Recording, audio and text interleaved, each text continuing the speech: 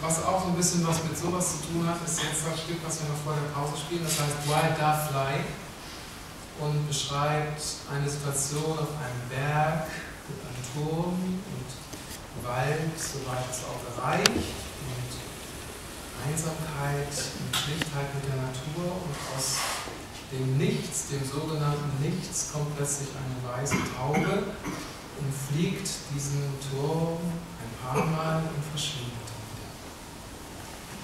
Bye. Bye.